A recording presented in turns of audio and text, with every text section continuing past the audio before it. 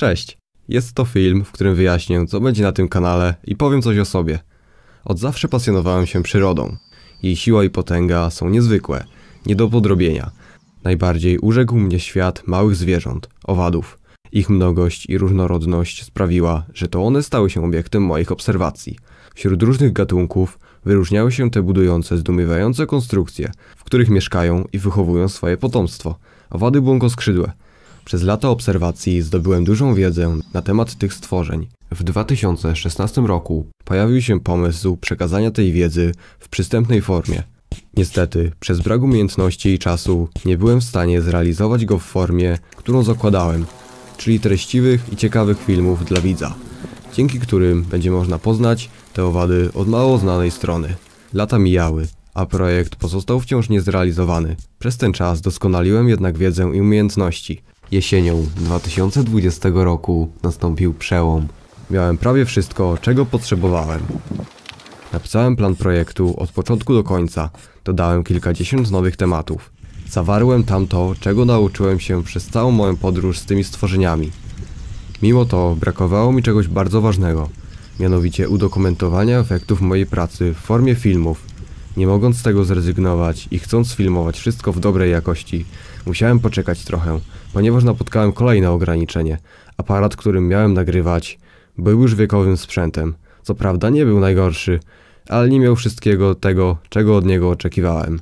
Rozważałem też zakup nowego, ale przez brak środków i początkową niepewność, czy projekt się w ogóle uda, postanowiłem, że zostanę przy tym sprzęcie, który mam. Przez zimę doszkoliłem się do nagrywania filmów i byłem gotowy. Pod koniec zimy poznałem kolegę, z którym nadal utrzymuję dobry kontakt też był zainteresowany owadami błąkoskrzydłymi i pomógł mi w opracowaniu koncepcji projektu. Pod koniec zimy zacząłem też nagrywać to, co zakładał plan. Wszystko szło dobrze, do czasu. Gdy skończyło mi się miejsce na nagrane pliki. Była to wczesna wiosna. Konieczność kupienia kart pamięci bardzo uszczupliła mój budżet. Nie zraziłem się tym, kupiłem i dokumentowałem dalej. Cały czas brakowało mi statywu, który spełniałby moje dość wygórowane wymagania.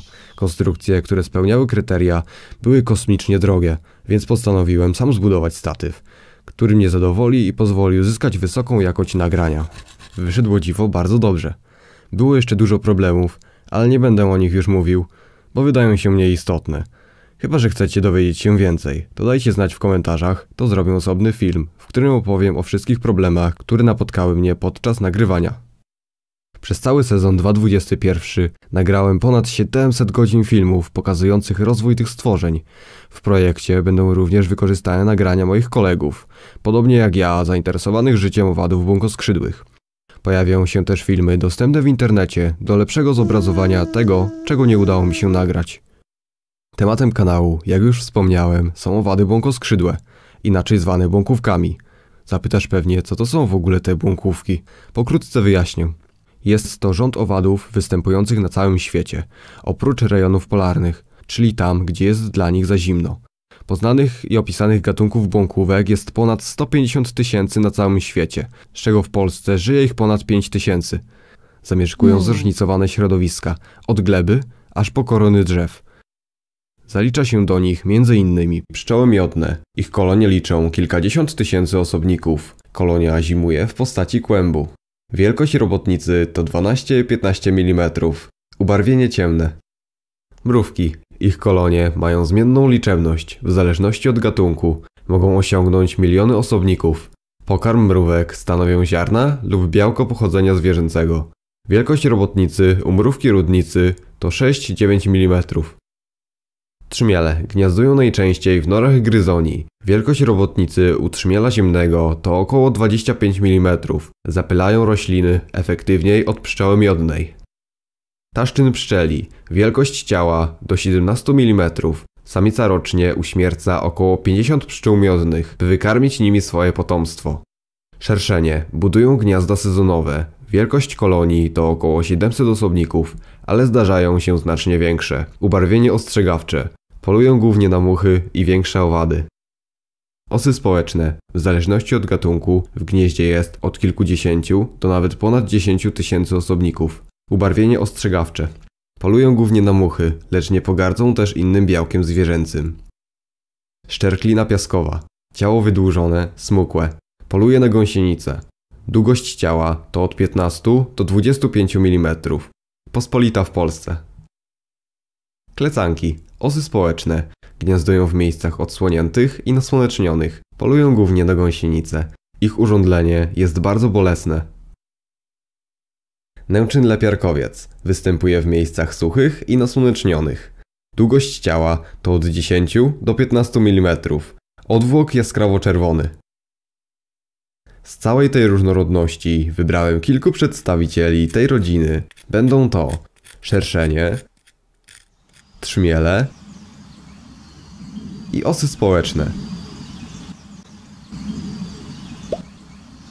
Wybór padł akurat na te owady, ponieważ od zawsze mnie fascynowały. Wielu ludzi nie zdaje sobie sprawy, jak żyją i jakie funkcje pełnią one w środowisku. Teraz pokrótce wyjaśnię, dlaczego nie wybrałem bardziej znanych bąkówek. Są bąkówki dobrze znane, takie jak pszczoły miodne czy mrówki. Pszczoły są znane i lubiane, głównie ze względu na ich sposób życia. Ludzie zwani pszczelarzami hodują pszczoły w małych domkach imitujących naturalne siedlisko pszczoły, czyli dziuple lub pęknięcia w skałach. Wszystko po to, aby pozyskać od nich coś, co gromadzą pracowicie przez cały sezon, czyli od wiosny do jesieni. Jest to oczywiście znany wszystkim miód, czyli odparowany i zmieszany z enzymami pszczół nektar kwiatowy lub spać. Pszczoły potrzebują miodu do przetrwania zimy. Jest to czysta energia, dzięki której się ogrzewają, gdy jest zima. Na temat pszczół jest dużo filmów, z których można czerpać rzetelne informacje. Dlatego nie chcę skupiać się na pszczołach. Mrówki z kolei nie produkują miodu. Ludzie hodują je dla wiedzy i rozrywki. Wszystko to za sprawą przezroczystego pojemnika skonstruowanego specjalnie do hodowli mrówek, zwanego formikarium. Ma ono dwie komory. Pierwsza imitująca część podziemną, druga zaś to wybieg, imitujący las, łąkę lub inny ekosystem. Mrówki swobodnie mogą się przemieszczać pomiędzy tymi dwoma światami. W górnej części zdobywają wodę oraz pokarm, w dolnej zaś wychowują potomstwo. Dzięki takiemu rozwiązaniu można bez przeszkód podglądać owady podczas ich pracy. Wierzcie mi, że życie mrówek można oglądać godzinami. Dzięki temu, że są hodowane tak samo jak pszczoły, jest o nich dużo rzetelnych filmów. Dlatego też nie będę o nich nagrywał. Wśród owadów, które wybrałem, wyróżnia się jeden, mianowicie trzmiel ziemny, Bombus terrestris. Jest odmienny od os społecznych czy przez to, że człowiek wykorzystuje go również do swoich celów.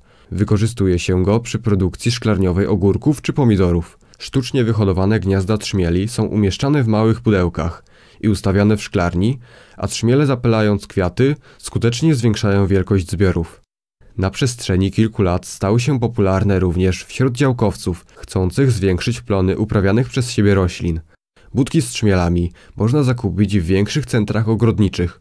Niestety na temat trzmieli jest mało filmów, które dobrze pokazują życie tych owadów, dlatego postanowiłem, że włączę je do projektu. Przechodząc do dwóch pozostałych błąkówek, czyli os społecznych i szerszeni, chciałbym zwrócić uwagę na to, że owady te nie cieszą się dobrą opinią wśród ludzi, głównie z powodu ich jadu i swojej ciekawości. Potrzebują one pokarmu bogatego w cukry, więc pojawiają się na imprezach na świeżym powietrzu, w czasie których podawane są słodkie napoje. Do ich negatywnego postrzegania przez człowieka przyczynia się niszczenie owoców przez wygryzanie w nich otworów i spijanie wyciekającego soku. To były jedne z największych wad tych owadów. Lecz patrząc na zalety, jakie niesie dla środowiska i dla samego człowieka ich istnienie, można powiedzieć, że przyćmiewają one przywołane wcześniej wady. Po pierwsze, żywią się one najczęściej innymi owadami. W dużej mierze są to szkodniki dla roślin uprawianych przez człowieka, np. gąsienice. Trzymają w ryzach wiele gatunków i nie pozwalają się im zbytnio rozprzestrzeniać.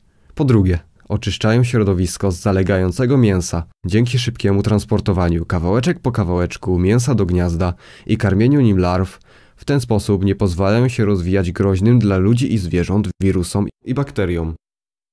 Po trzecie, osy i szerszenie zapylają rośliny. Może nie tak efektywnie jak pszczoły czy trzmiele, ale jednak ma to miejsce. Podsumowując, celem projektu jest przedstawienie złożoności życia os społecznych, szerszeni i trzmieli. Chcę przekazać wiedzę, którą zdobyłem przez lata obserwowania tych owadów. Uświadomić, że są one w przyrodzie bardzo ważne. Filmy planuję wypuszczać co dwa tygodnie, ale czasem może się to skrócić lub wydłużyć. Jeśli oglądasz do tego momentu, to pewnie Cię to zainteresowało i chcesz się dowiedzieć czegoś ciekawego. Możesz wesprzeć projekt klikając subskrybuj z dzwoneczkiem, zostawić łapkę w górę i napisać w komentarzu swoją opinię na temat całego przedsięwzięcia.